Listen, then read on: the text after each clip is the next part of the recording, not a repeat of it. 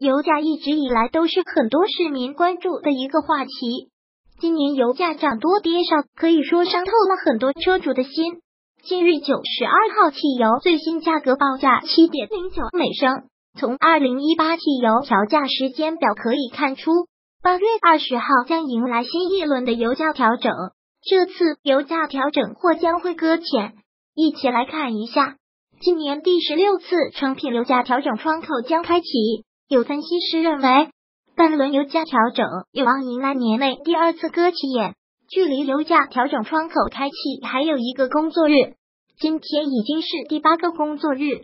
今日油价是八月六日二十四时上调油价零点零五元每升到零点零七元每升之后的价格，根据油价十个工作日一调整的原则，本次油价将在下周一进行调整。全国加油站将在下周一晚上十二点，八月二十日二十四时进行油价调整。半轮油价调整计价期内第九个工作日，目前原油变化率负百分之零点九五，预计下调油价四十五元每吨，只要再下调五元每吨，就达到了油价下跌标准。就看最后一个工作日国际油价能否给力了。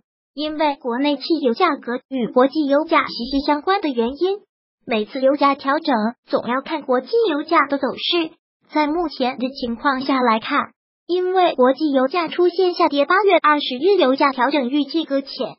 国际油价方面，因为美国原油库存数据疲软等因素令油价承压，本季假期内原油市场利空因素占据上风，国际油价震荡回落。但因为调价机制的原因，在预计八月二十日二十四时成品油零限价不调整。如果喜欢本视频，请分享并订阅本频道。别忘了按赞哦！